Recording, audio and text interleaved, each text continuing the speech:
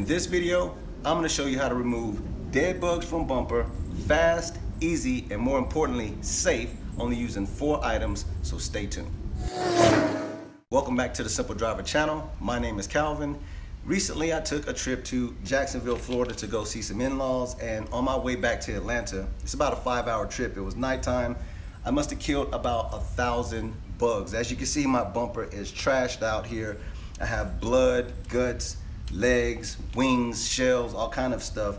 And uh, I gotta get this off of here. As you know here, I got, you know, you can see I killed some flies, I killed some, you know, cicadas, some love bugs, and to top it off, I got hit with freaking bird poop, which is really bad because bird poop has uric acid in it, and that doesn't even dissolve well in water. So I have to get this off, and it's gotta be a safe way to do it because at this point, it's been overnight, these uh, bugs are dried on here and they're acting like little pebbles and rocks uh, on my vehicle. So if I take this rag here and I slap it on here and I start scrubbing vigorously to get it off, what's gonna happen is I'm going to put abrasions and scratches inside of my paint and I don't want to do that. So the best way to take this, these dead bugs off your front bumper of your car is to use a couple products. Here I have bug and tar remover.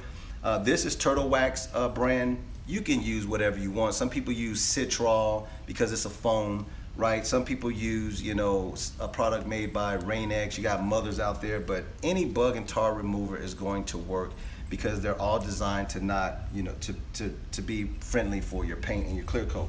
So that's the bug and tar remover. The next thing I have here is uh, Meguiar's Gold Class. This is just a car wash shampoo because you don't want to put dishwashing detergent on your vehicle. I mean, there's times that you need to do that, but in this case, I do not. I just want to wash my vehicle with some uh, good shampoo. I have my bucket, and I have here a microfiber towel with a grit guard inside of my bucket, which means once I start putting uh, this, uh, wiping this, these bugs off, and I put it back inside of here, I'm gonna use that grit guard to get rid of those bugs so I don't put them back on the paint. So let's go ahead and get started with the process. The first thing you wanna do is turn the nozzle on, obviously. And I'm gonna just show you here. And I actually like this because it, it's not dripping. It's actually kind of foamy. So that's pretty good. So I'm gonna spray this on here. And uh, let's just, oh, I got a bee here. You see that? Okay, this is what happens when you shoot outside. But I'm gonna go ahead and uh, show you how this works.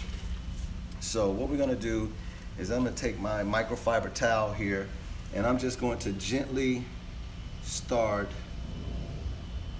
Look at that.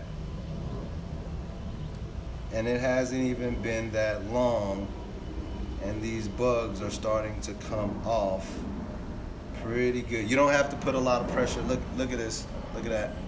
You see that? Look at that. Come check this wash bucket. Look down in here.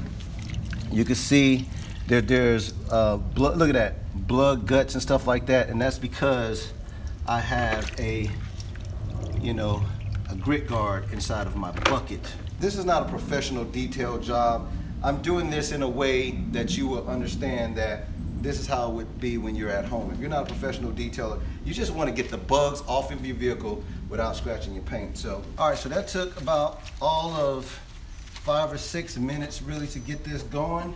Grab my pressure washer, just so I can take off the bugs out of the radiator and stuff like that. You may not have a pressure washer at home, but if you do, make sure that it's the 25 degree uh, nozzle, because if you put a 15 or a zero or something like that, you're gonna start taking paint off your car.